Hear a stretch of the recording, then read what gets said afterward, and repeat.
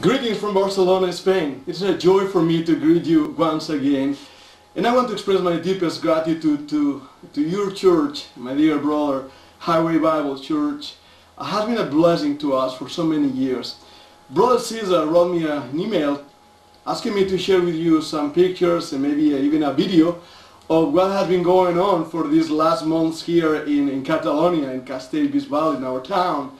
And I tell you, it has been quite busy, but it has been a blessing. I have around six things to share with you.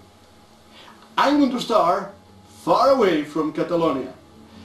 We went to Peru. Actually, I was by myself. I was invited to help out in a Bible seminary that they are starting in the city of Lima in Peru. They invited me because they needed to uh, arrange what it was the curriculum and all the materials for the Bible Institute. It was a joy for me to be there in Lima and also give a conference about the apostasy in our days. The Lord really blessed that time there in Lima. I was together with a group of students from Pensacola Christian College, Dr. Alred, Dr. Watt, and Dr. Greg. All of us worked with that plan, that project, and uh, I was so thankful for the opportunity that the Lord gave me to go there. But that was just the beginning of summer. After we returned, camps was almost ready. We had once again the joy and the opportunities to serve the Lord with children camps. We had a good group this year and uh, the most important thing is that at least three of these little children accepted the Lord as personal Savior. And that is the joy, that's the purpose of what we do, that they may know Him and that they may have true relationship with the Lord Jesus Christ. We had an excellent team of workers. We had an excellent team of directors.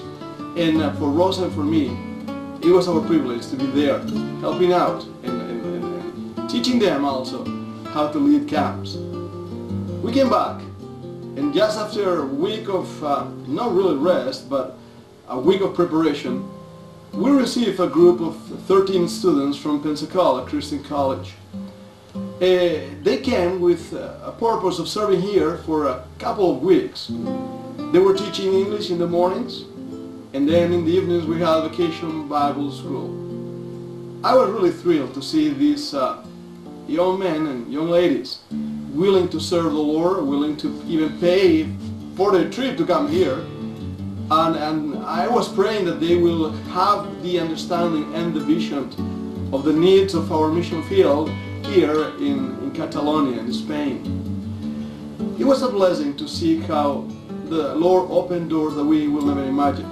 We were able to go and teach in a, public gym here.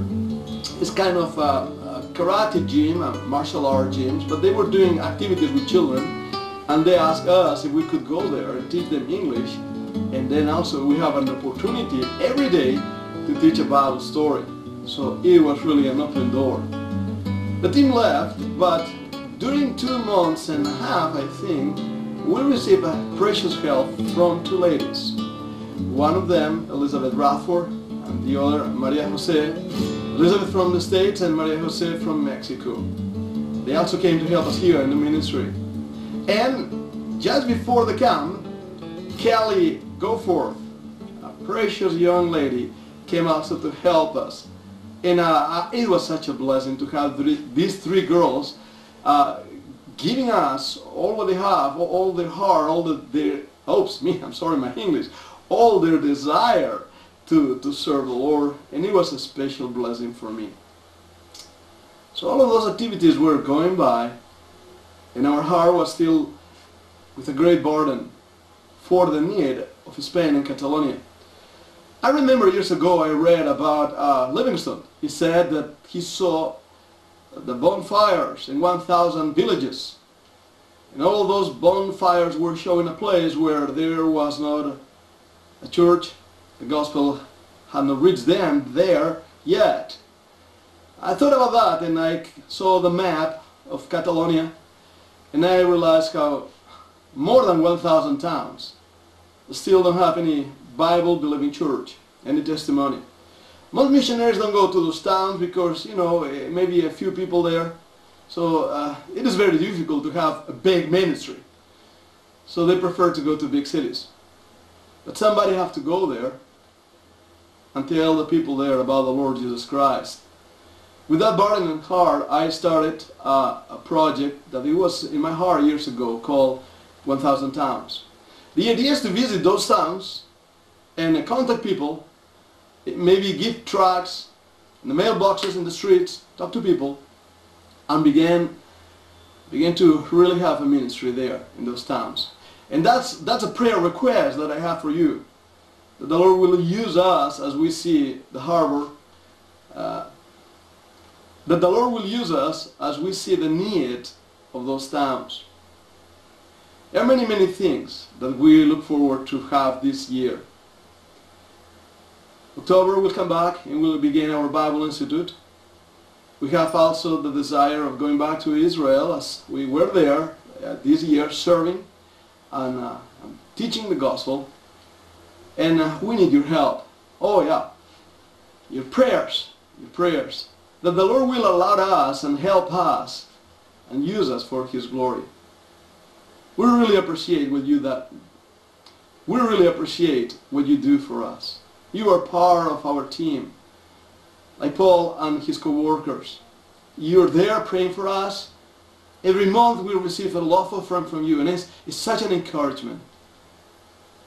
Your love and your encouragement is what help us to go on serving the Lord.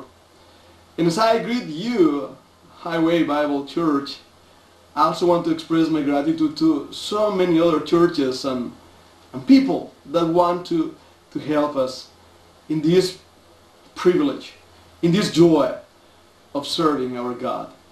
So thank you very much for watching this video, these pictures, and I hope you will continue in touch with us, maybe through our Facebook, maybe through Instagram, maybe through prayer letters, and I'm sure you will be praying for us.